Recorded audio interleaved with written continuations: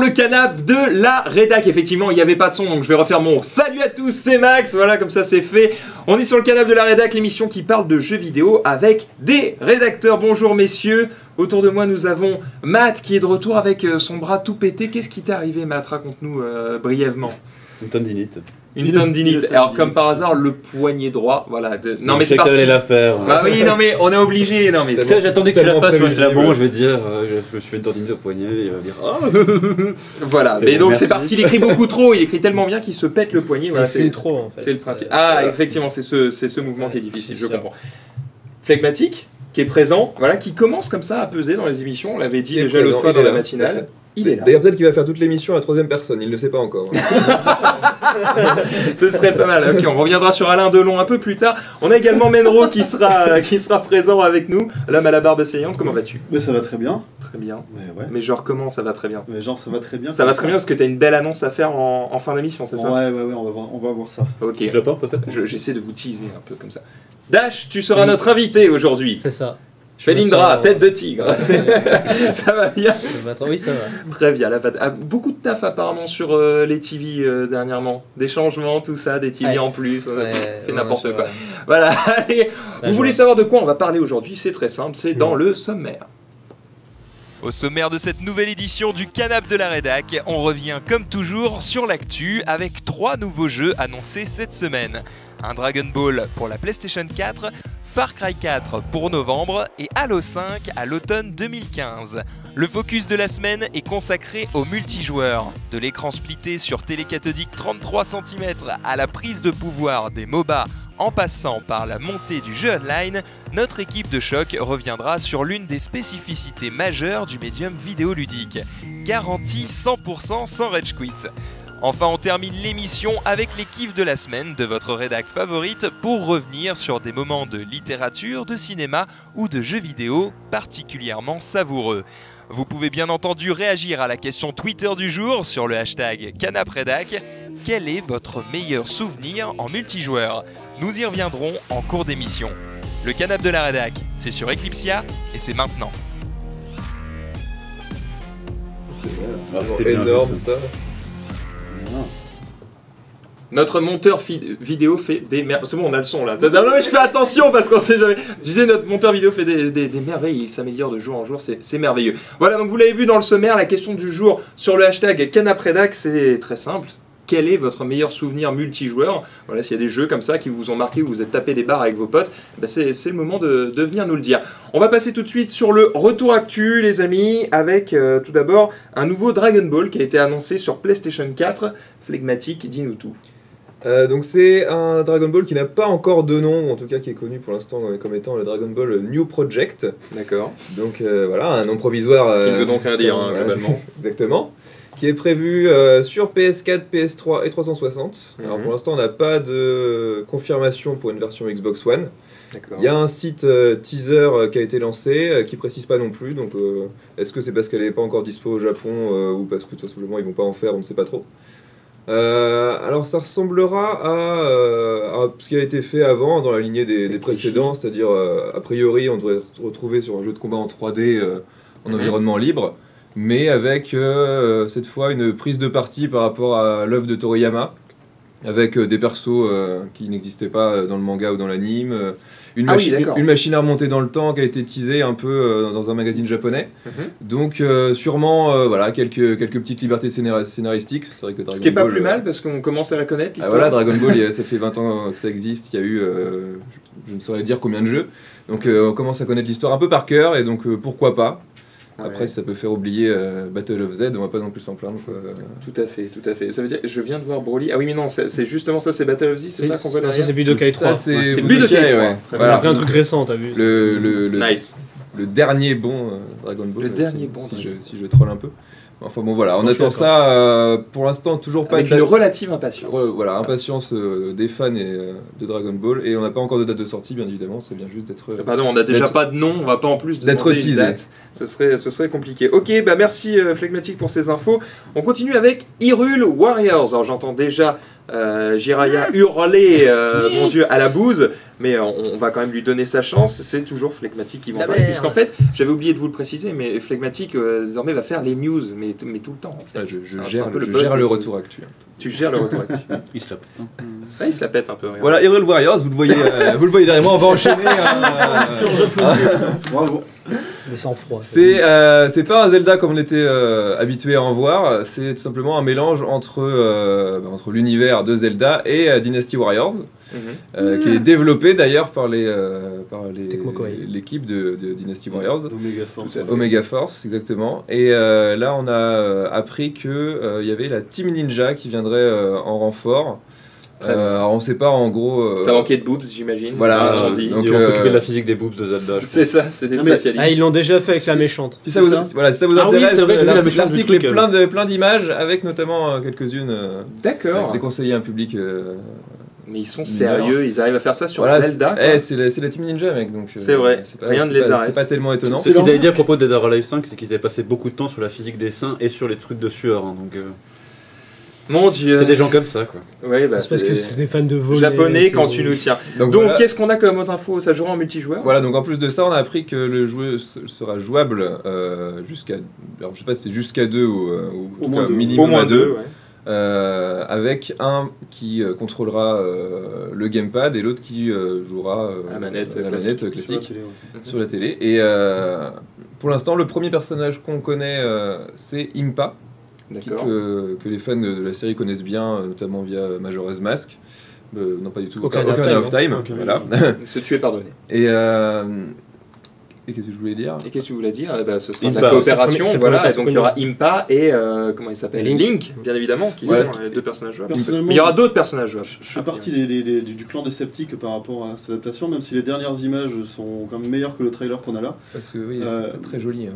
Par contre, le fait de revoir Link un petit peu euh, jouer de la magie, le fait d'avoir des items, qui, des, des équipements, etc., genre là, c'est une espèce d'écharpe, euh, c'est plutôt stylé quand même. Donc, euh, je sais pas, c'est, euh, j'attends vraiment le 3 là pour avoir un avis, moi perso. Bah, j'ai envie de lui donner sa chance. Je suis pas du tout euh, Dynasty Warriors, mais bon, Mm. ça m'intéresse. Et puis sur Wii U, on a un peu en mal de jeu, donc euh, on prend, Oui. tout, on prend tout ce qui vient. On On prend entend tout mal ce de qui- consoles. ouais. Je- tout court. La Perso, quoi je suis très très sceptique parce que, parce que juste c'est l'équipe qui fait Dynasty Warriors et les gars ils ont pas fait un bon jeu depuis euh, beaucoup trop longtemps quoi donc euh, je sais même pas s'ils savent encore comment on fait. Far Cry 4 sort en novembre. Voilà, euh, Far Cry 4, la suite du Far Cry 3 euh, acclamé par la critique, par les joueurs, qui était sorti en fin d'année en, en 2012. Euh, qui a donc une suite, alors c'est pas une surprise, hein, le jeu avait tellement marché que, que ça pouvait euh, que donner lieu à une suite, qui sortira, on a déjà la date de sortie là pour le coup, qui sortira le 20 novembre sur euh, PC, PS3, PS4, 3.6, euh, Xbox One. Et euh, contrairement donc à ce que vous voyez derrière là, de, de Far Cry 3, on change complètement d'environnement puisqu'on sera dans une région fictive de l'Himalaya.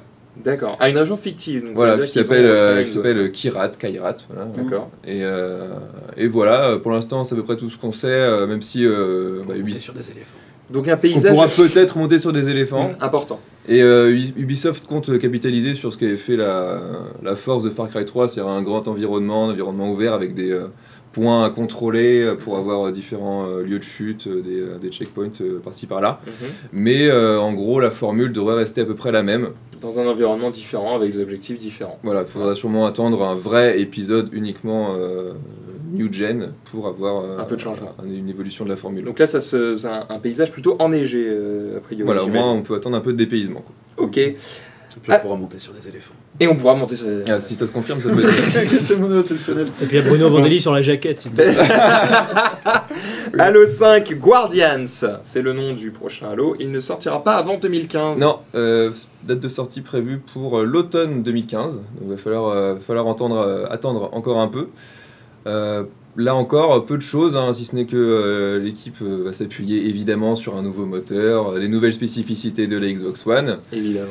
bullshit habituel. C'est une exclue Xbox One, hein. ça sort ni sur PC ni sur 360, on est bien d'accord. Oui, oui, c'est C'est le fer de développé- lance de- Développé spécialement pour la Xbox One. Et alors, on a appris aussi, enfin, on a appris, il y a une rumeur qui court comme quoi il pourrait y avoir une compilation des Halo euh, 1 à 4 Oui, qui sortirait là en l'occurrence sur Xbox One, puisque les, les 4 étaient sortis la Master sur, Chief Collection. sur Xbox et euh, 360. Du bon marketing. Ouais Donc, Non mais il y a une euh, logique. Sans, euh, sans euh, ODST et euh, mais bon, ça peut être sympathique pour ceux qui n'auraient pas fait, pourquoi pas Oui, parce que hein. justement, ODST et Reach, en fait, c'est les deux seuls épisodes où c'est pas Master il n'y a Chief. pas le Master héros. Chief, exactement. Voilà. D'où le, d'où, d'où le nom Ah, Master bah, en Chief. tout cas, Halo 5, euh, automne 2015, euh, pas avant quoi. Donc, Très bien. vous pouvez Et ranger votre Xbox One. euh. Effectivement, vous avez le droit de ranger votre Xbox One, C'est les amis. quand même parce que les deux gros jeux euh, sont vraiment dans longtemps, que ce soit sur PS4 ou Xbox One, le Uncharted et le Halo ils sortent vraiment tard après la sortie de la console. Ouais, ouais, ouais. En même temps, j'imagine qu'au moment où ils donnent les kits de développement, il faut compter à peu près 3 ans pour faire un vrai bon jeu. Et je pense qu'ils n'ont pas donné les kits de développement depuis, euh, depuis 3 ans. Ouais, Donc, si euh, je dis pas de bêtises. Halo, Halo 3 c'était à la sortie de la, de la 3.6. Ah ouais Je- Je Peut-être. suis pas formel là-dessus, mais en tout cas, euh, on n'avait pas attendu aussi Et longtemps. en même temps, c'était pas le meilleur épisode. Non, mais bon, pour vendre une console, c'est quand même pratique. On va faire un petit tour sur Twitter, les amis. Vous êtes nombreux euh, à réagir, comme toujours. Ça fait euh, super plaisir. Avec notamment euh, Shadeth qui dit Mes meilleurs souvenirs en multijoueur, c'est Crash Team Racing. Effectivement. C'est un Très bon, très bon Je choix. suis même pas sûr qu'on l'ait noté dans ton truc, mais effectivement, euh, effectivement ça a bastonné sévère. Euh, on a Dofus qui est, cit- qui est cité par Wario, Ego qui nous parle lui de euh, les LAN avec mes 5 meilleurs potes sur UT 2003 et Warcraft 3 avec tous ces modes, Nice. bien C'est un évidemment. bon choix. Bon goût hein, pour l'instant. Pour le moment, ça va vous citer vraiment des, des très très bons trucs. Mes meilleurs souvenirs online, euh, HL2, donc j- j'imagine Half-Life. Half-Life 2, Mhm. Deathmatch et euh, World of Warcraft, époque euh, Burning Crusade. Effectivement, ça c'est étonnant. Moi je connais beaucoup de gens qui ont quitté à Burning Crusade. Lui, c'est euh, apparemment le passage euh, qu'il a préféré. Ok, très bien. On reviendra bien évidemment sur vos tweets euh, tout au long de l'émission. On y reviendra tout à l'heure. Pour le moment, on va faire une courte pause. On se retrouve tout à l'heure pour le, le débat, on va dire, le dossier hein, de la semaine. Le focus, effectivement, le focus de la semaine sur le multijoueur. Voilà, on va faire des trucs à plusieurs. C'est tout de suite après la pub.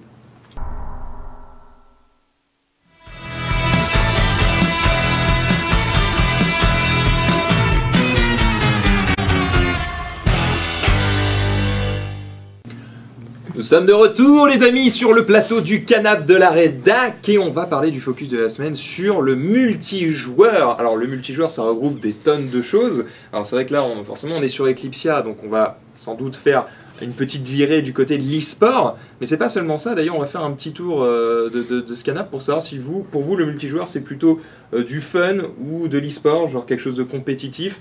Alors bon j'imagine que vu qu'on est avec les rédacs là ça va plutôt être du fun, mais on va, on, va quand même le tenter. Menro pour toi? Hum, écoute, non, moi je, pense qu'on sera pas tous d'accord avec, euh, avec ça, même au sein de la rédac. Euh, moi je préfère le côté effectivement plaisir de jeu, déconne, euh, etc. Ça n'empêche pas par moment d'essayer de, faire quelques perfs de, voilà, d'essayer de, de tirer le meilleur de soi. Enfin, moi je ne l'ai pas caché, j'en ai déjà parlé plusieurs fois. J'aime bien les jeux de fight par exemple, les jeux de baston, j'aime bien StarCraft 2, même si je suis vraiment super mauvais. Mais euh, à StarCraft, hein, pour les jeux de baston. Et, euh, et du coup, voilà, donc euh, même si je préfère le fun, je suis pas, je- tu vois, je suis pas tout noir tout blanc quoi. Hmm, Un petit peu quand même de, de, de, de- de sérieux fait, fait pas mal mat de ton côté Ça dépend des jeux, il y a des jeux sur lesquels je tryhard vraiment comme un porc. Oui, genre de Que je le veuille ou non, même, même quand je joue pour m'amuser, je tryhard quand même. Oui, forcément, ok. Et des Il y jeux en a sur lesquels d'autres. je joue vraiment pour faire le con. donc, euh, Pareil pour toi, Dash? J'ai tendance à penser la même chose. Je pense que je tryhard plus sur les jeux PC et je me détends plus sur les jeux console en fait. Ça me semble être euh, une, bonne analyse flegmatique. Moi c'est pareil, hein, il y a des jeux euh, auxquels je. Ça dépend aussi des, des amis qui jouent à ces jeux ou pas en fait. Genre il y a des jeux que je joue Si tu les typiquement- aimes pas, tu tryhard, je comprends. que je joue typiquement en local, euh, voilà pour le fun, euh, même si j'aime toujours gagner, et d'autres où je joue en multi plus euh, online euh, parce que Et j'aime toujours parce gagner. que je suis tout seul, parce que je suis tout seul à jouer à ça. non mais je, je comprends, je comprends. Mais en même temps, qui n'aime pas gagner? Je- J'aimerais bien le savoir. Alors on va faire un rapide tour d'horizon de bah, les modes multijoueurs. Il y en a eu euh, des tonnes, ça a évolué bien évidemment avec le temps. Au départ, il n'y en avait pas. hein, C'était des jeux purement solo sur ta. Euh, encore que même pas. Le premier vite. jeu, Pong, c'est un jeu. à deux. Pong, C'est un jeu multijoueur. c'est un jeu multi. Pong, on, joue à deux. Je pense que l'IA, elle était pas.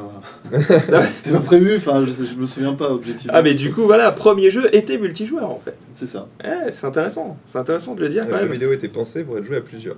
C'est ça, effectivement. Après il y a eu des expériences solo. D'ailleurs, c'est un jeu. tu vois, non C'est- fou.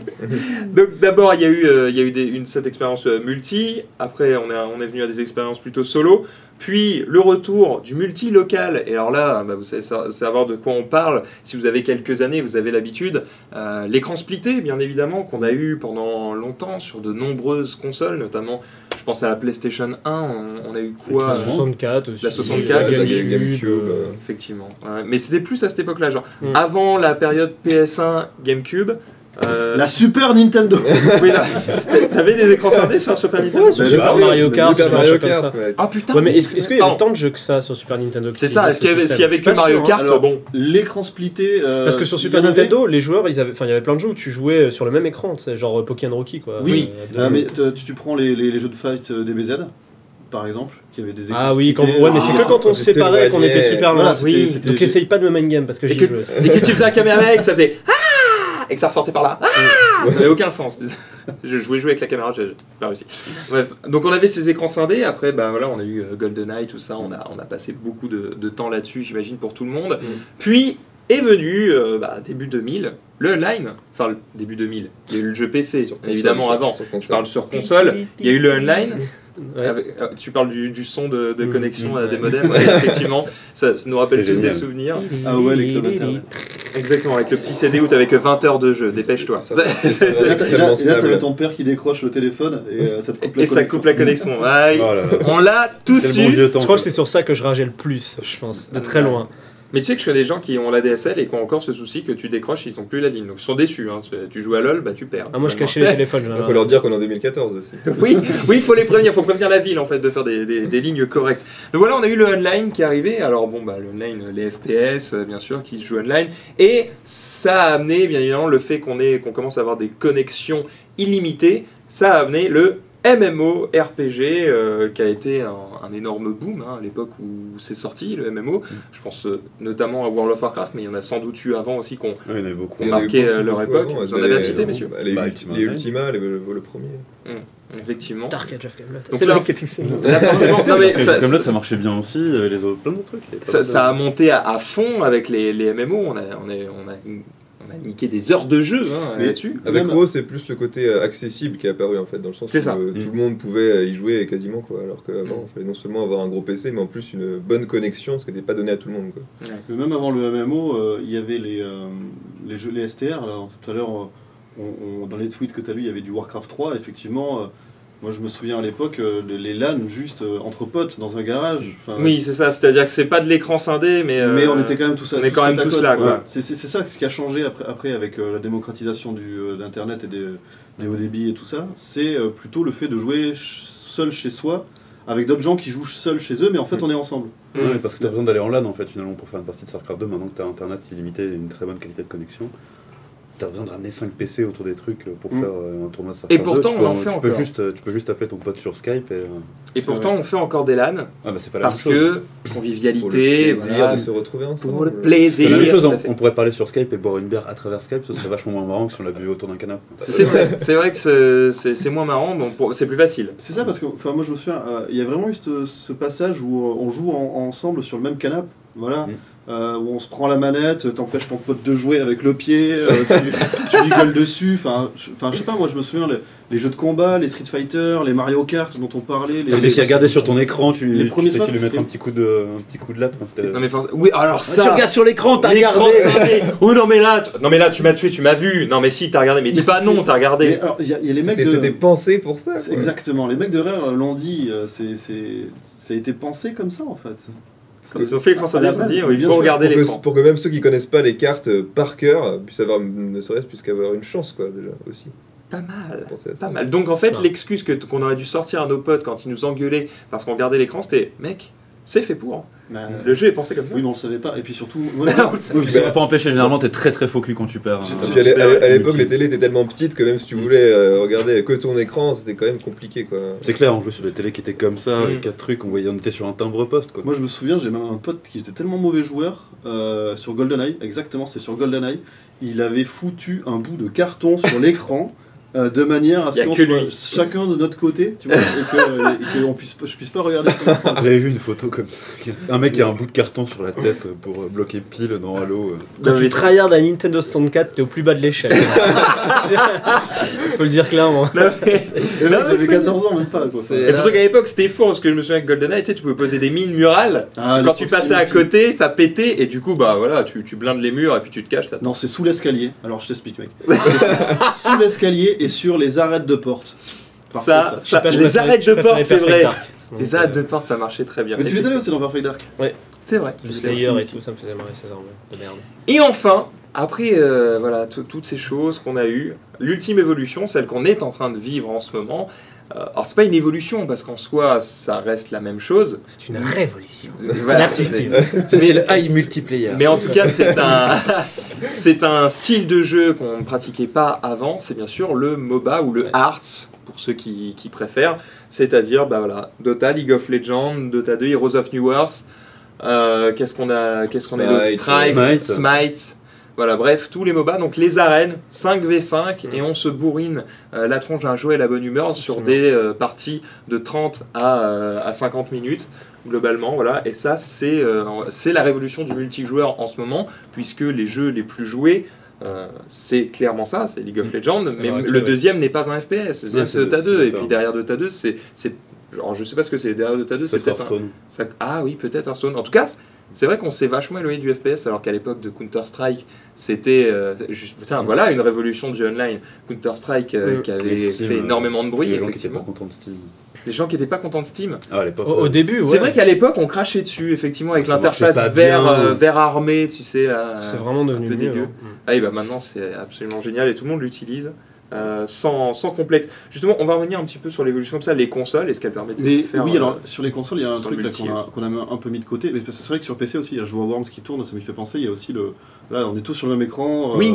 Maintenant, ça se Je joue pense en à aussi. Micromaniacs aussi, comme ça, où c'est un peu comme Speedrunner en fait. D'ailleurs, c'était- c'est un Speedrunner, Micromaniacs. Ouais, Mais, ça, euh, le, le multi-local existe sur PC aussi. hein, on, Mm. on oppose souvent le, aussi. on oppose souvent le multi euh, console vraiment sur un canapé, chacun la manette, et le multi PC où tu joues online. Mais euh, voilà, le multi. euh, Ça, ça existe. Alors, Ok, mais non, sur on, t'a coupé, excuse-moi, vas-y. Moi, il y a un truc sur lequel euh, vraiment euh, je, je mets un petit bémol en fait, c'est euh, sur les jeux de baston en fait. Sur les jeux de baston, alors ça va beaucoup mieux maintenant que le- les connexions sont beaucoup plus euh, efficaces, même sur console. Mais c'est vrai que comme on est vraiment sur la frame près, euh, des fois pour les inputs, pour, faire tes, tes, manips, etc. euh, honnêtement, le mode online, des fois, il y a un léger lag. enf- Enfin, le rythme de jeu n'est pas le même, le rythme pour tes combos n'est pas le même. Euh, c'est vraiment, euh, c'est vraiment différent. Si, si ça se joue euh, en, en local, les jeux de fight essentiellement, c'est pas pour rien non plus en fait. C'est que là, pour Mm. le coup, on n'arrive pas encore à avoir vraiment cette réactivité totale. euh. Mm. Pour ça, c'est un peu, un peu embêtant, quoi. Surtout sur des jeux 2D comme Street Fighter, où C'est encore plus flagrant en fait, je trouve. C'est pour ça que, par exemple, Smash Bros sur Wii a pas du tout marché en online parce que Mm. même si c'est pas le jeu le plus exigeant au niveau des inputs, bah t'avais, euh, serait-ce qu'un petit peu de lag. J'ai fait deux parties, j'ai hein. j'ai fait deux parties, j'ai compris, je fais d'accord. Ils avaient des problèmes de netcode, non sur- Mm. Oui, en plus, voilà, le- on va pas revenir sur l'online de la Wii, quoi, mais Oui, ça- Bah, justement, Et parlons sur du online des pas consoles. Ah, bah, peut-être. Quoi, ça, mais- je quoi vais, je vais Par- tester. Parlons du multijoueur justement euh, sur console parce qu'il y a eu plusieurs évolutions, euh, certaines qui sont bonnes et d'autres qui sont presque inacceptables ou qui peuvent s'expliquer techniquement. Je vais y venir. C'est que la première console à avoir proposé un multijoueur, honnêtement, on peut le dire sans faille. euh, sur console, c'était la Xbox première du nom, Microsoft avec son Xbox Live, euh, c'était lancé en 2001 je crois en France, euh, qui avait fait quelque chose de très correct. À l'époque, on avait, c'était Rainbow Six qui était le fer de lance du truc où il y avait énormément de, joueurs sur, ce, sur ce titre. Très peu de déconnexion, c'était stable. On pouvait y jouer euh, très correctement. Alors, Aujourd'hui, Rainbow Six, euh, c'est une licence qu'on a un peu oubliée. Mais voilà, à l'époque, ça, ça pesait beaucoup. En face de ça, tu avais la PlayStation 2, mais c'était très limité, Mm. le online. Euh, Nintendo n'en proposait pas encore.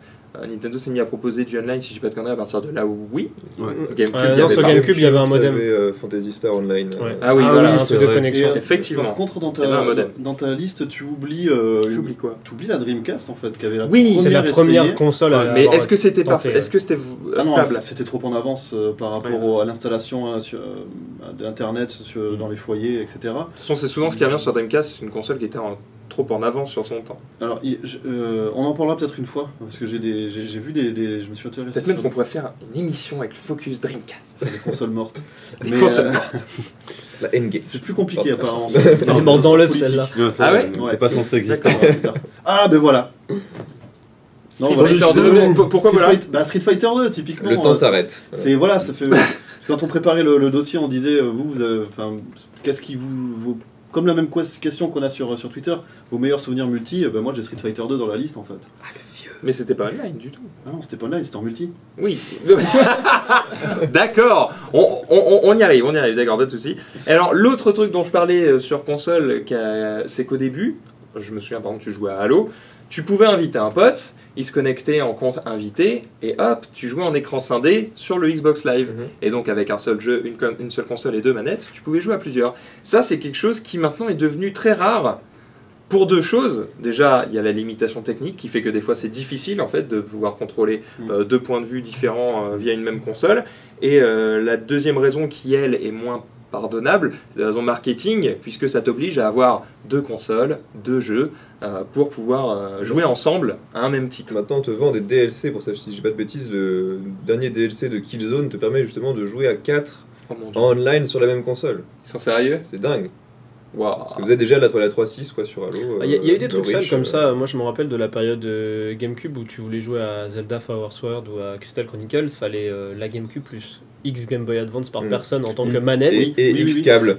Voilà, plus les des- câbles. alors ça, c'était pas mal aussi niveau marketing. hein, parce que Oui, clairement, mais il y en a qui ont exploité euh, le, le- le filon de manière intelligente. Je pense notamment, il y, y avait des épisodes de bombe. euh, non, c'était Pac-Man qui était très sympa où t'en avais un qui, par exemple, sur, il y en a un qui Oui. se mettait sur la GameCube, il contrôlait euh, effectivement euh, Pac-Man et les autres contrôlaient les fantômes sur la Game Boy, mais du coup, il fallait qu'ils jouent avec leur écran. Et tu vois, le mec, il voyait rien en fait avec son Mais Pac-Man. C'est chaud. Enfin, c'était intéressant en termes de gameplay, ils avaient utilisé le truc. C'est typiquement ce que, ce que Nintendo a essayé de refaire, je pense, avec la mablette, enfin la- la- Hmm. le gamepad de la Wii U quand, il a, quand ils ont essayé de le faire. Mais ce genre de gameplay un peu, j'y reviens, hein, je suis désolé, le gameplay asymétrique que dont Alors, ça veut dire quoi la dernière fois Ça veut dire ça. quoi Mais ça veut dire que euh, tout le monde n'a pas le même, euh, le même gameplay. Tu vois, Oui. on, l'avait- on en avait parlé pour Evolve, Evolve, voilà. où tu avais un, un- un joueur qui a un gros monstre euh, et quatre autres joueurs en face qui jouent des, des- des humains. Effectivement. Et donc du coup, ils ont pas la même façon de s'appréhender, pas les mêmes euh, façons de progresser, pas les mêmes façons de... Ils jouent etc., presque etc. pas au même jeu, C'est en pourtant fait. ils jouent ensemble. C'est ça. Et euh, là, en l'occurrence, euh, le, le- c'est vrai que l'utilisation de la Game Boy Advance sur la GameCube, euh, on voit vraiment, le, le- je trouve, l'embryon de ce qu'a fait euh, Nintendo avec sa Wii U. hein, donc, euh, Ce qu'essaye de faire euh, Sony avec la. ou ce qu'a essayé de faire Sony avec la Vita euh, Mm. PS4, même si. Ça, j'attends de voir, franchement. Il y a moyen qu'ils en fassent quelque chose de vraiment très très sympa. hein. Imagine jouer à des jeux PlayStation 4 dans ton lit sur ta PS Vita. Franchement, ça a l'air chouette. Le seul problème, c'est que la Vita a exactement le même problème que la Wii U, qui est qu'elle n'en a pas vendu assez pour que les éditeurs Oui. se fassent chier à développer dessus. En fait. Oui, oui, mais peut-être que ça va faire des ventes. Enfin, Oui. ça, ça va pousser aux ventes. Voilà, parce que Là, ça, il Là, commence à en bon l'occurrence, en plus. Ce, dont je parle, c'est juste de jouer un jeu ça, PlayStation ouais. 4. Mm. Donc juste, t'as pas à développer de jeu Oui, pour la PS Vita, tu vois. Mm. Donc ça, ça, ça peut être vra- vraiment sympathique. Alors, le multijoueur a pris des proportions inimaginables, telles que euh, il était devenu quasiment, euh, à une époque, mandatory de faire un mode multijoueur euh, sur, euh, sur ces jeux. Même sur des jeux a priori purement solo, un mode multijoueur était demandé euh, par les éditeurs. Mm. Et en grande partie par les joueurs aussi. hein. Il y en a beaucoup qui râlaient sur les forums en mode mais non, détruisez pas cette licence, c'est une licence solo, machin. Sauf que la masse, elle, était très contente d'avoir un, un jeu multi. C'est une question de monétisation Alors- aussi, c'est ce qu'on disait, c'est que tu peux vendre plein de DLC pour le multijoueur qui sont tout à fait cons. Quoi. C'est ça. Quand, Et tu vends, quand tu peux vendre des armes, des armes, des cartes ou des trucs comme ça qui prennent très peu de temps à Des développer, que tu les vends pour des 10-15 armes. balles, Mm. tu vends des skins d'armure, des trucs comme ça que tu peux pas vraiment vrai. intégrer dans le vrai jeu parce que c'est, ça fait nickel and dime. Les packs d'armes des jeux précédents. T'as une grosse source de revenus là-dessus. le problème, c'est que si tu veux les vendre, il faut que ton mode multi enfin, marche auprès des joueurs, donc il faut qu'il soit plutôt bon. Ouais, et c'était pas toujours le cas. C'est essayer de toucher une audience qui est les gens qui jouent à un seul jeu en fait. C'est des Mm. gens qui s'achètent un jeu tous les 6 mois et qui le poncent à fond. Et qui euh, cherchent pas du tout les, les gens qui vont revendre directement après parce que ces gens-là ont de toute façon, quand ils achètent l'occasion, pas le droit au- à, à l'online pass et ils peuvent pas jouer online. Il y a une autre raison, je pense par exemple à Assassin's Creed. euh, J'ai tendance à penser qu'ils l'ont fait pour ça. En l'occurrence, ils l'ont plutôt bien fait, Mhm. mais euh, voilà. C'est euh, pour empêcher les gens, parce que ça, quand tu as une. Excusez-moi, je m'embrouille. Un jeu purement solo, c'est très facile de le craquer, que ce soit sur console ou sur PC, et de profiter du jeu. Euh, et puis c'est tout en fait. Tu as aucune limitation, tu profites de l'ensemble du jeu et tu ne l'as pas payé. Et ça, c'est quelque chose que le multi évite, puisque pour jouer en multi, tu es quasiment obligé de le payer. Après, je pense et pas que que, tu payes coup- 60 balles pour faire le multi des Assassin's Creed. Eh ben moi, je t'avoue que, euh, en fait, je le cite parce que je sais que euh, à l'époque où j'avais pas trop de sous, euh, c'est vrai que des fois je craquais des jeux, ça m'est arrivé, ne le faites pas. Mais quand il y avait des modes multi que je voulais vraiment faire, bah, je payais le jeu. Parce qu'au un moins, je multi pouvais jouer multi. de- En fait, en fait, le truc, c'est qu'il y a des jeux qui s'y prêtent euh, naturellement. On, on les a cités, que ce soit du, euh, du LoL, du Dota, du jeu de fight, du Mario Kart, du ce que tu veux. Mhm. C'est des jeux qui sont euh, dans la tête de, de la communauté de joueurs, essentiellement des jeux multijoueurs. Enfin, on- Mhm. dans, dans notre tête, une fois que tu cites ce jeu, tu penses multijoueur. Je pense. Effectivement. ouais. Le, le truc avec des jeux comme Assassin's Creed ou même Last of Us qui, a fait ça, ou il y en a eu d'autres en fait. Mass Effect 3 aussi. Mass Effect, je sais Tomb Raider. euh, Tomb Uncharted. Raider, Uncharted, il y en a plein. Euh, c'est effectivement d'avoir une aventure solo et une aventure euh, multi. Alors souvent c'est pas le même studio qui les, qui les développe. Mhm. Euh, maintenant, moi quand j'achète effectivement un Last of Us ou un Assassin's Creed, j'ai pas foncièrement envie de Pour moi c'est pas un jeu solo. Le truc c'est que, bah, tu, on voit Last of Us là derrière Mhm. justement. Ces modes là sont par contre plutôt bien faits. Non mais oui, les jeux sont prenants, les jeux sont bien faits. Le truc, c'est que par essence, euh, moi, je j'ai pas tendance, mais ça c'est totalement subjectif, à aller vers ces jeux-là pour le multi en fait. Moi, Last of Us, je l'ai fait une fois, j'ai adoré, j'ai essayé le multi pour voir, mais j'ai jamais poussé le truc. Alors que euh, je- ça m'arrive encore de euh, sur des jeux multi ou comme ça de d'y jouer régulièrement. Enfin, c'est c'est pas la même vision en fait de, de- c'est juste des étiquettes en fait. Je pense que les mecs, euh, que les, que les joueurs se, ont semé. euh. Non, parce que Je moi, pense- c'est- Vas-y. non, moi c'est pareil, juste j'avais acheté Tomb Raider euh, le dernier et je, je m'étais dit, tiens, je vais essayer le solo, le multi un jour. Je l'ai jamais fait quoi. Mhm. Mais, euh, Parce que jeux- par essence, quand tu achètes, tu dis pas je vais parce que oui, parce que Ouais. moi-même, peut-être je me suis dit, voilà, c'est un jeu solo et puis point barre. Une fois que je l'avais fini, je, je me suis pas retourné. euh, Oui, puis pour ce que tu disais sur les gens qui, euh, qui râlent, en fait, c'est parce qu'une des peurs aussi quand tu as des jeux solo comme ça, euh, qui sont principalement basés sur leur histoire et que tu achètes pour leur histoire et pour faire le solo, c'est que le multi divertisse, enfin, prenne une partie des fonds et l'utilise pour lui, pour une partie qui n'est pas intéressante Ça- et ça, qui- ouais. qui soit pas la, la raison principale pour Carrément. laquelle tu l'achètes en fait. C'est pour ça que ça couine autant sur Mass Effect 3 quand ils l'ont fait, parce que les deux premiers Mass Effect n'avaient absolument aucun mode euh, multijoueur et tout le monde était très content, les fans qui l'achetaient.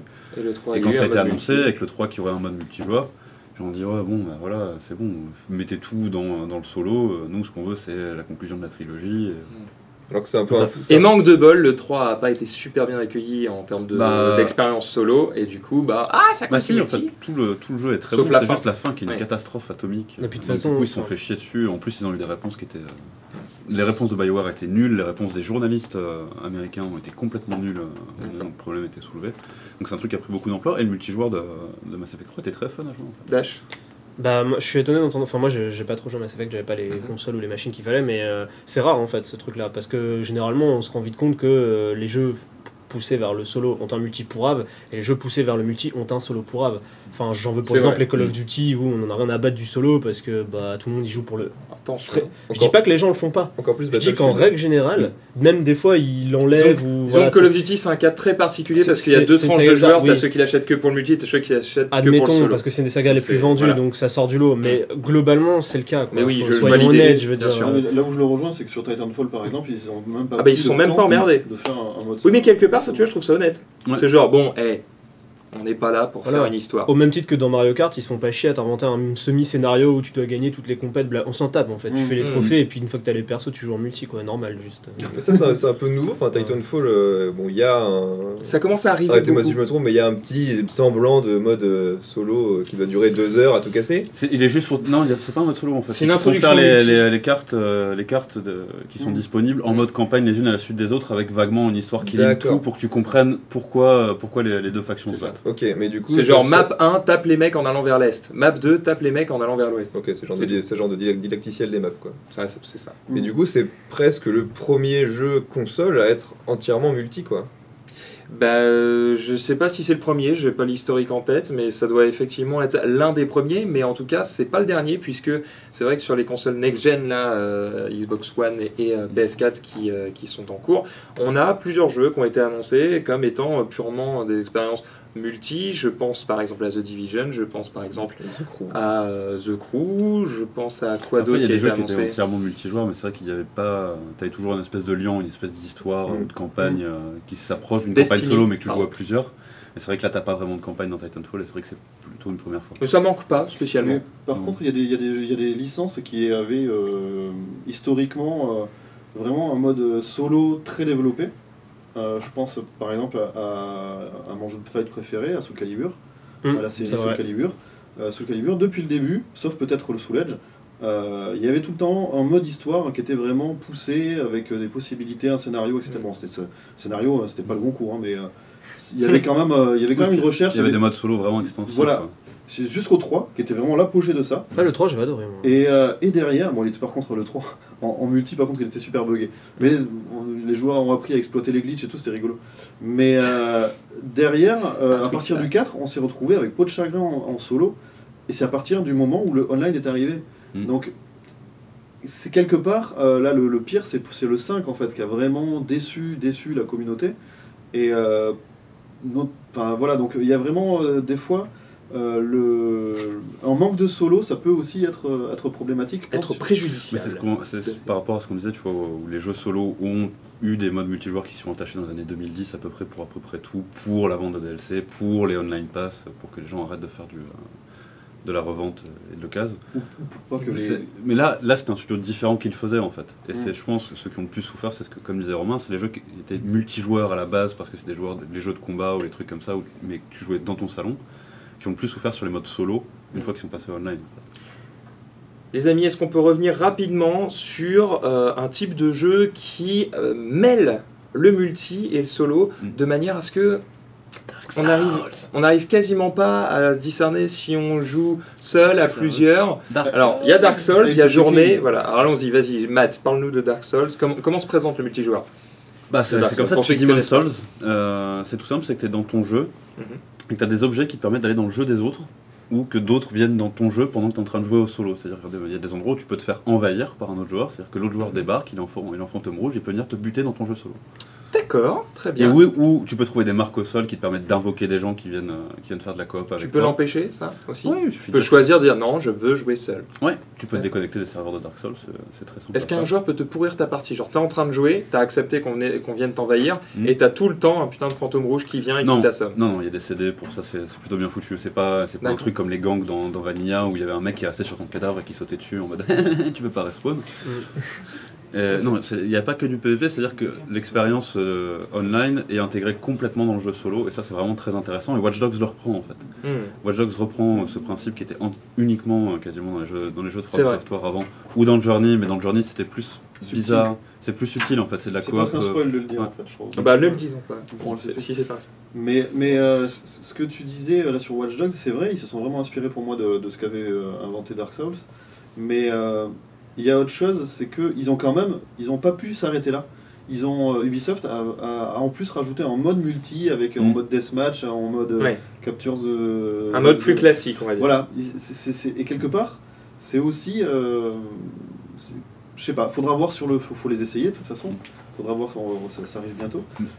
Mais c'est vrai que c'est dommage en fait. De... Bah, parce que dans, dans Dark Souls, ce qui est vraiment marquant, c'est qu'à aucun moment tu as un bouton qui dit Un mode menu, un multijoueur truc, et ou voilà. un truc comme ça. C'est non, tu rencontres un PMJ qui dit Bah, ça aurait ah, pu être génial dans Watch allez Dogs. buter tous les euh, mecs dans leur monde, ça va être trop bien. Alors que là, dans, dans Watch Dogs, c'est ça, c'est, euh, il me semble, hein, c'est un mode, à tout moment dans le mode solo, tu, tu vas dans le menu, tu vas dans l'interface et tu dis bah là, je veux faire un multi quoi. Oui. T'as les, t'as les deux, Et- en fait, apparemment. Ah d'accord. T'as l'intégration où t'as les hackers qui viennent te. te- Mais, non, mais même pour le, le multi, tu sais, à plusieurs, pas juste en 1v1, on aurait pu, par exemple, dans Watch Dogs, imaginer que eh ben, tu, tu rencontres des joueurs dans la rue, et puis tu montes un gang avec eux, et puis tu fais des fights de gang, ça, Oui, ça t'aurais des pu aller à un endroit où t'aurais un truc euh, mission, euh, mission multi, tout ça, tu rentres dedans, ça te met une mission. Le problème de faire tout ça, c'est que ça, veut dire, ça voudrait dire que les joueurs sont coordonnés et, euh, entre guillemets, prenez pas mal, hein, mais tous intelligents, et que du coup, ça crée une émulsion, un truc Non, mais- qui fait qu'il y a du multi. En gros, ça n'arriverait pas. Ils sont un peu obligés de faire des C'est menus. le concept de. C'est le concept. Vas-y, parle-moi maintenant. C'est le concept de. Dans la jungle, comme ça. C'est le concept de GTA Online. Un peu, enfin, il me semble, enfin que. Moi, j'ai Donc pas Rockstar l'a fait. joué. C'est- je pense que c'est, c'est, ce qui- c'est l'idée qu'ils avaient, euh, qui était sous-jacente, qu'ils avaient déjà essayé de mettre un petit peu sur pied avec Red Dead, parce que ça, par contre, le multi de Red Dead, j'ai un peu, un peu, un peu dosé. Et, euh, et c'était ça, en fait, l'idée, le concept, la Mm. promesse. Il y avait même le social club et tout ça. Bon, ça a fermé. Maintenant, les serveurs sont out, mais Mais c'était intéressant. C'était ouais, c'était intéressant. Mais c'était encore une fois une expérience complètement séparée du solo. C'est ça. Là, l'intérêt, c'est ce que tu dis, c'est ça quoi. Allez, donc là on a parlé beaucoup de fun hein, autour de, de- de jeux notamment euh, voilà, solo qui proposent du multi, etc. Est-ce que vous n'avez pas peur avec le temps On le voit là notamment, bah tiens c'est parfait, voilà, on a Smash Bros euh, derrière. Est-ce que vous n'avez pas peur que le multijoueur dans les jeux devienne de plus en plus compétitif et même carrément devienne uniquement compétitif? C'est-à-dire qu'on n'imagine pas un jeu multijoueur sans qu'on tryhard dessus euh, forcément. Ça dépend des joueurs, ça Ça pour si même. Nintendo dépend des joueurs, ça dépend des jeux, ça dépend de tout. Là, si tu prends Broforce par exemple, Broforce c'est pas un jeu que tu vas tryhard quoi. Oh, t'as des speedrunners qui vont le faire. Mais... Oui, oui, non, mais, Mais voilà. sur le, sur le multi sur un deathmatch, c'est un truc que tu vas vraiment lancer, tu vas faire le compte dessus. Smash Bros, c'est pareil, je pense qu'à part 2-3 personnes dans la boîte, dans la boîte, Dans la boîte, oui, d'accord, d'accord. le reste des gens qui vont jouer à Smash Bros vont jouer vraiment pour le fun et pour Mhm. faire les cons. Hmm. Après, Smash Bros, c'est un super exemple de, euh, de ce que peut apporter le, le multi, en fait. Par exemple, Melee, il, est- il reste très accessible, mais euh, il est à la fois euh, poncé par des, par des joueurs euh, e-sport qui ont trouvé euh, des façons d'exploiter le jeu de façon à le rendre beaucoup plus rapide et, et vraiment taillé pour l'e-sport, en fait. Et c'est euh, un, un des jeux qui mêle le mieux fun immédiat et vraiment compétition à balle si vraiment tu as envie de... Mm. De, de poncer le jeu et de, de, devenir le maître de la cour de récré. Quoi. Puis là, c'est pas mauvais d'être compétitif parce que ça veut dire que le jeu sera forcément un peu plus équilibré s'il y a de la visibilité sur ces, sur ces joueurs pros. Mhm. Et donc, c'est vachement plus agréable de jouer à un jeu équilibré en fait. Oui, Tout bah, court, même pour faire le con, c'est Mm. vachement plus agréable de jouer à un jeu qui est équilibré. Oui, parce que perdre tout le temps, c'est- tu t'amuses Ouais. pas, en fait. On va faire un petit tour rapidement sur vos références du, du multijoueur et je pense qu'on clôturera euh, ce focus là-dessus puisque le temps file, les amis. On, on a pris un, un petit peu en retard, mais on va essayer de rendre euh, pas trop, trop en retard pour nos amis de Mission LOL. Là, j'ai pressé derrière, il a envie de vous dire tout un tas de trucs sur les LCSN et vous allez voir. Euh. Toi, tu nous as cité euh, Smash Bros Melee. Oui, parce que toi- bah, c'est le jeu que j'ai acheté avec la GameCube, euh, tout simplement, et, euh, et euh, on était euh, une bonne, bonne bande de potes à jouer à ça, et euh, même j'y ai joué beaucoup, beaucoup en solo, euh, évidemment encore plus en multi, et puis même maintenant, c'est un jeu que je pourrais reprendre sans problème et passer et m'amuser des heures dessus. Tu as cité également 13. Ouais, là encore, j'avais ouais, 13, pareil, pour citer un autre genre de jeu, mais FPS que j'ai beaucoup joué Mhm.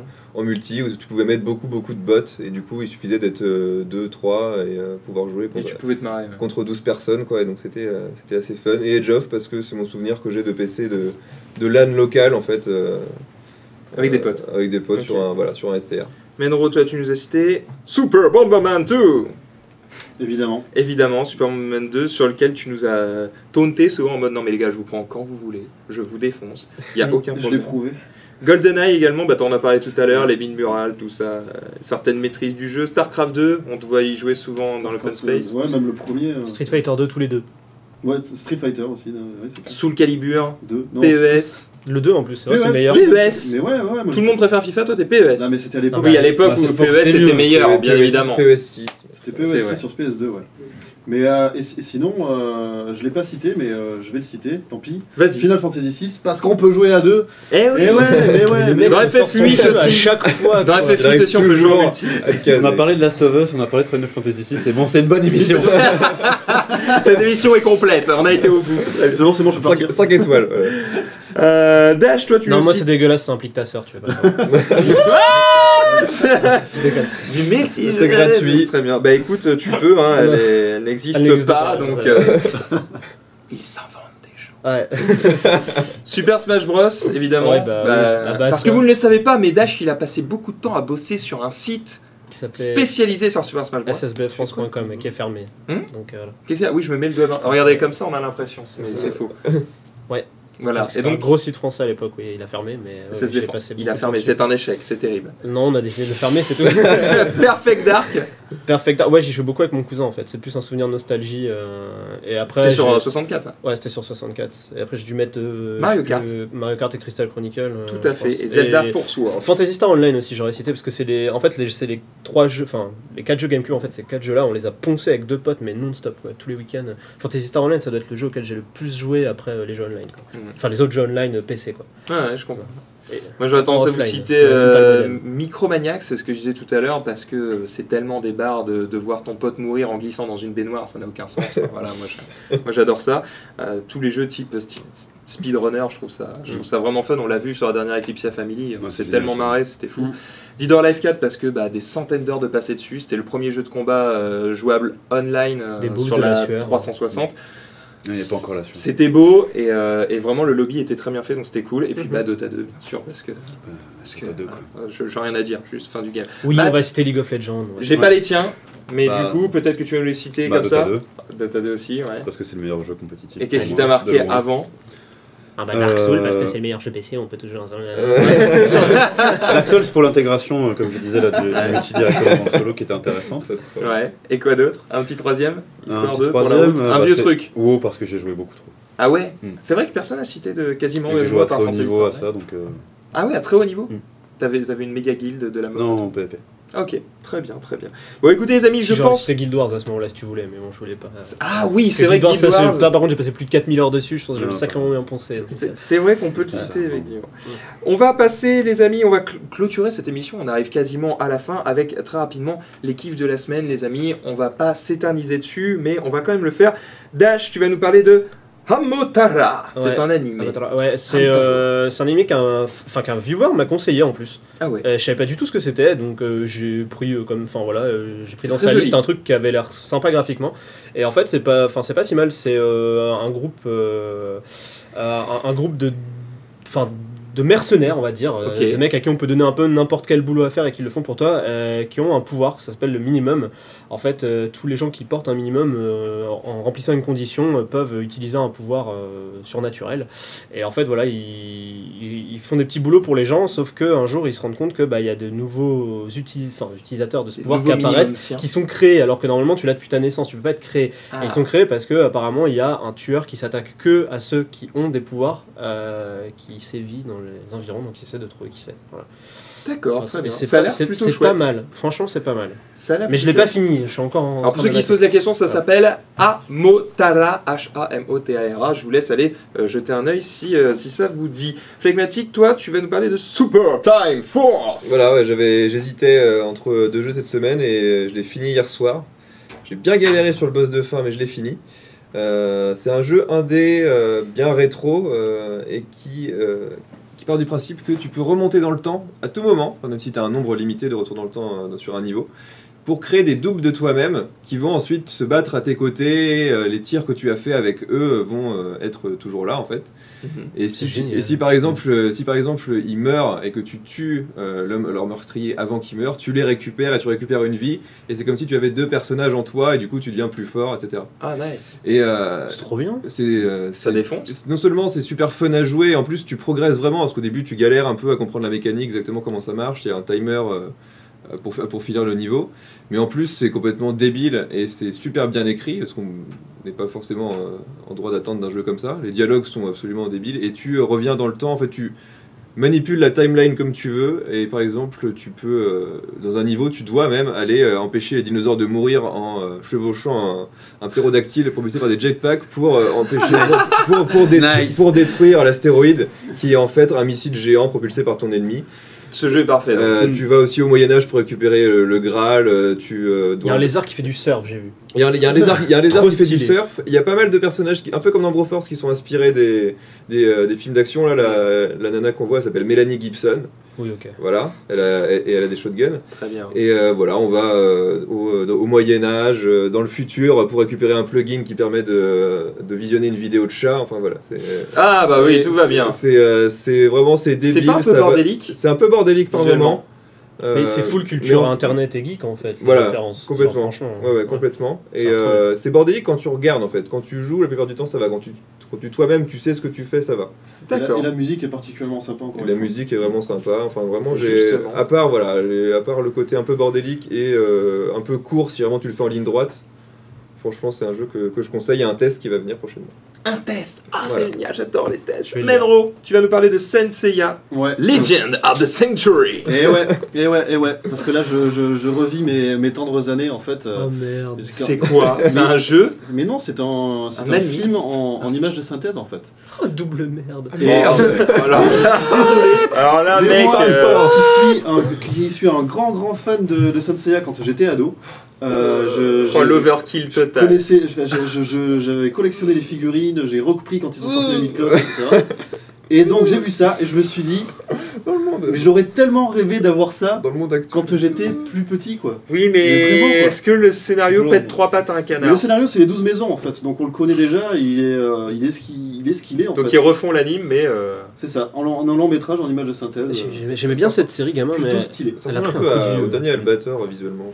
elle a pris Un un, petit super peu. coup de vieux. Ok, bon, bah écoute, j'espère que ce sera bien, que ça ne te décevra pas et je le regarderai euh, pour, pour, pour Ah, te faire je, honneur. je regarde dès que je peux. Après, euh, je suis pas forcément Ça sort quand super fan du. C'est sorti Je sais pas, je sais pas, c'est écrit en japonais. Mais Dash peut-être. Ils ont changé un peu le look des armures. Je suis pas forcément ultra fan, mais malgré tout, euh, voilà, depuis le temps, je te dis que j'attendais moi d'avoir d'avoir un peu plus de, de, de- de- quelque chose qui se rapprochait d'une cinématique plus que d'un d'un dessin animé, parce que maintenant que Très bien. Bon, en tout cas, ça va te faire kiffer, tu l'attends avec impatience. et... Bon, ça a l'air joli graphiquement, euh, on, on va éviter de cracher dessus avant, avant de voir le désastre. on va passer sur le dernier kiff de la semaine, c'est un double kiff entre, Ouais. euh, entre Matt et moi-même, puisque c'est Transistor. Tran- Ouais. Voilà. Moi j'avais annoncé, Voilà. dès qu'ils ont annoncé le jeu, j'ai dit quand on fait le canap la semaine du- de la sortie de Transistor, Transistor, soit c'est mon kiff de la semaine, soit je vais lui mettre deux. Oui, forcement. Donc et voilà, de fait, tu lui mets. Non, on va pas parler. Tu tu vas faire le test Je vais faire le test très bientôt, euh, très très bientôt. Donc Voilà, le plus as soon as Mm. possible. Euh, de checker euh, dans la colonne. Pour le moment, on va en parler brièvement. Je suis très content que ce soit pas Bastion 2, c'est très différent, c'est que ce soit visuellement, enfin, on, re- re- on retrouve toujours la patte des mecs, niveau gameplay, niveau histoire, c'est pas Bastion 2 du tout, et pourtant c'est un jeu Super Giant Games, et ils arrivent toujours à avoir leur patte. Ils reprennent juste le principe du narrateur. Oh, C'est même pas un Enfin, c'est même pas un narrateur, c'est un mec C'est- qui est avec C'est toi. ton épée qui te parle en fait, et Mm. c'est. Ça tue. Il paraît qu'il y a une super voix, le mec. Ouais, bah c'est la Bah. Cunningham quoi. c'est- D'accord. Juste, euh, Non, non, mais la- C'est celui qui fait le narrateur de Bastion. La voix forcément, défonce. euh, graphiquement, c'est sublime. C'est-à-dire qu'au moment. Moi, je, je peux vous le dire, je- certains l'ont peut-être euh, vu en live, mais euh, quand j'ai lancé le jeu, je l'ai lancé euh, en le streamant. Mm. Et euh, j'ai eu les larmes aux yeux en fait. Au moment où j'ai lancé le jeu, je- dans les beau, 10 premières secondes, j'ai eu les larmes aux yeux. Avec la musique, les graphismes, la voix et tout, j'étais- j'ai été touché, alors que ça m'arrive très rarement. Ouais, Donc euh, c'est sublime. Euh, Moi, j'admets que elle j'ai est pas joué, mais la bande originale, j'ai un peu écouté, elle est hallu- hallucinante. La BO est folle, elle est disponible sur écouté- YouTube gratuitement d'ailleurs. Oui, et par Super Giant Extraordinaire. Games, qui est une super initiative d'ailleurs. Extraordinaire. Mm. Ouais, sur le compte de Super Giant Game, vous pouvez aller voir, vous avez l'entièreté. C'est trop bien T'as joué à Transistor Oui, c'est trop bien C'est trop bien Trop bien Non, vraiment, Transi- Transistor, ça défonce, on vous le conseille euh, avidement. Ouais. Voilà. Et pourtant, tout- toute la presse n'est pas unanime, et justement, il y a un truc que je- je voulais dire là-dessus que je trouve plutôt bien, c'est que j'ai vu en fait des journalistes dire Bah, moi j'ai pas aimé, mais je comprends pourquoi certains aiment, et d'autres dire Moi j'ai adoré, mais je comprends euh, ceux qui ne l'aiment pas en fait. Est-ce que c'est pas C'est-à-dire que- répétitif? C'est ce que j'ai lu un peu à droite à gauche. je sais pas, Matt, tu l'as fini toi, non? Bah non, parce qu'en fait, ça pourrait l'être, mais tu es poussé à changer tes combinaisons de sorts qui fait que t'expérimentes en fait. T'expérimentes tout le temps et comme Bastion, t'as le système de difficulté qui est intégré directement dans le jeu au fur et à mesure où tu progresses, où tu peux choisir ton propre niveau de difficulté. C'est-à-dire si tu commences à trouver que c'est trop répétitif et que t'as pas besoin de changer tes tactiques, tu te rajoutes des limiteurs et là c'est une catastrophe hein, la difficulté. C'est ça. Tu peux augmenter la difficulté en choisissant toi-même les bonus que tu rajoutes aux, aux ennemis et ça augmente ton XP en fonction de ça. Et c'est très très très très dur. Voilà, on vous en dit pas beaucoup plus. C'est merveilleux. Je vous invite vraiment à, à y aller. C'est disponible sur Steam et sur PlayStation 4. C'est tout. 20 Pas encore, crois. pas encore Voilà. sur PS4. mais- Pas encore sur PS4 Je crois pas. Voilà, Bon, ça coûte une, bientôt. Ça coûte Ça coûte une vingtaine d'euros, c'est pas très cher, c'est vraiment excellent, on vous le conseille euh, totalement. Voilà, c'était Transistor, c'était le canap de la rédac les amis. Merci à tous de nous avoir suivis jusque-là. Ça continue bien sûr sur Eclipsia puisqu'on a, euh, on a tout à fait, on a Mission LOL euh, juste après. Mais avant de se quitter, on va quand même parler de l'E3. Vous vouliez savoir, vous avez été nombreux à nous demander sur Twitter si on allait euh, le suivre, si on allait faire euh, des émissions là-dessus. Menro, je te laisse euh, annoncer un petit peu ce qui, ce qui, va, Alors, ce qui va se goupiller. Très Voilà, rapidement, parce que effectivement on non, est- parce que là, on, a les gardes du corps bah, derrière, ils sont en mode bon, tu vas te manier le cul. On a un tweak sauvage juste à côté. Euh, très rapidement, euh, oui, euh, Eclipsia va couvrir le 3. Euh, voilà, c'est ça, c'est pas, c'est pas, c'est officiel. Oh t'as raison Ouais Euh, exactement le détail. Je suis assez triste qu'on- faire les Je, plannings. je suis assez triste qu'on s'applaudisse pour ça, mais bon. euh, Il va y avoir un, un article qui va vous expliquer tout en détail, mais euh, que ce soit les conférences ou euh, les émissions du Canap Redac, il y aura une émission spéciale. Euh, même pour On est connecté, il va y avoir une émission spéciale. Donc euh, euh, voilà, on voit les choses un petit peu plus gros que l'année dernière là-dessus. On Mm. espère que vous serez nombreux à nous suivre. Beaucoup, mais- Ouais. Euh, donc voilà, ça va être une nuit agitée pour la nuit des conférences et après pendant tout le salon. On le rappelle, le lundi 9 juin, de 18h jusqu'à 5h du matin, C'est ça. Non-stop sur la rebelote. TV1, donc ça va être très très euh, très très lourd, mais on va on va tenir. On est des soldats. Du re- rebelote le lendemain parce qu'il y a le tournoi aussi. Exactement. Le lendemain, voilà, on aura la conférence Nintendo, puis le tournoi Super Smash Bros. Alors que le lundi 9, on aura Microsoft, Electronic Arts, Ubisoft, peut-être pas dans cet ordre-là, Et et, euh, Sony. Euh, pour, Et pour Sony, clôturer la c'est- soirée. C'est cet endroit-là, bien joué. Donc ça s'annonce euh, assez, euh, assez solide et on vous attend euh, nombreux pour suivre euh, voilà, toutes les infos du jeu vidéo qu'il y aura pour fin 2014. Et euh, à 5h du matin quand on faut sera en train de traduire la conférence. on- C'est l'occasion, si vous voulez, du jeu vidéo euh, qui ne soit pas forcément tout le temps euh, du jeu vidéo compétitif. Si vous voulez, euh, voilà, il faut être nombreux à ce moment-là pour. euh, c'est un C'est ça. rendez-vous. C'est un rendez-vous important. On vous remercie à tous de nous avoir suivis. On laisse Lège et Twix euh, bah, vous proposer euh, Mission LOL. Ça arrive dans quelques minutes sur Eclipsia. Ciao à tous, à la semaine prochaine.